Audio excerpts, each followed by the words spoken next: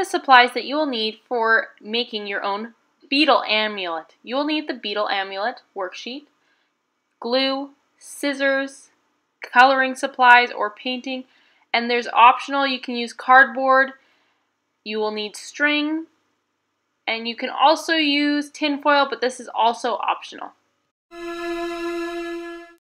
To get started, you'll want to grab your beetle parts and your amulet parts, and we are going to color the beetle body parts and the jewels just like that and cut them out with a pair of scissors. I also wanted to see what a beetle looked like if I decided to paint it instead of color it with markers, and so what I did is I glued all the ovals together before I painted because I felt like it would make it easier, and then chose what paints I wanted to use, and just painted it with those, and there we go, and I had to let it dry. It took a little bit longer than the markers, but I think it looks great.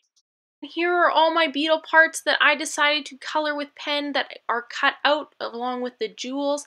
And now we are working on the amulet base. I decided to use cardboard for my amulet base because it makes it a little stiffer.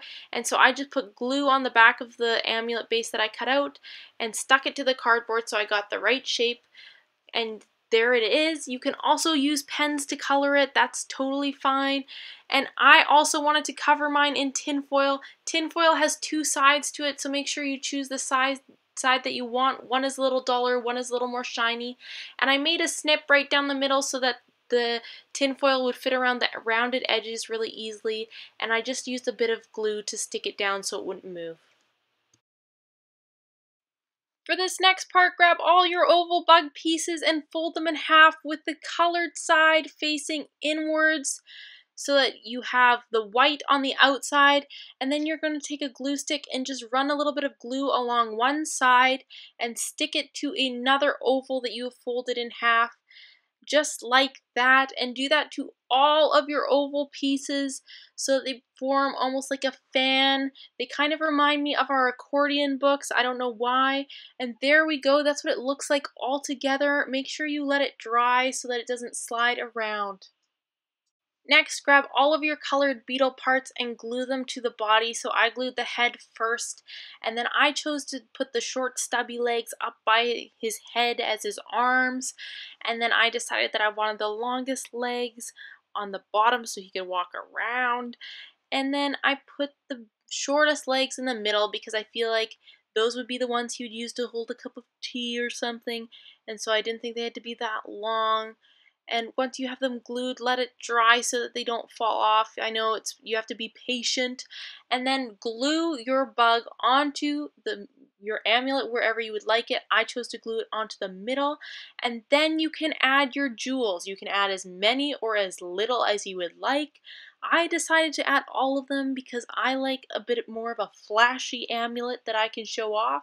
So here is my amulet with all the jewels for this last step, you'll want to grab a piece of string and measure it out so that it hangs on your neck where you want your amulet to be.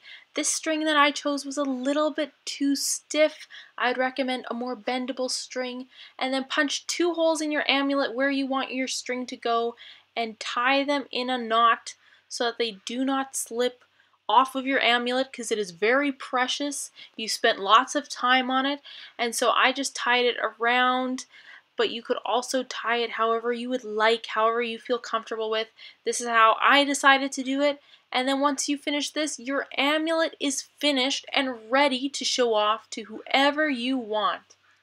Here is my other amulet all finished, and this is how I put the string through a different way just in case you didn't like the other way of doing it because then you only have one knot on your amulet string just like that. And I also switched out the string for something that was a little bit more flexible and softer. And here are both of my amulets. I think they both look pretty great.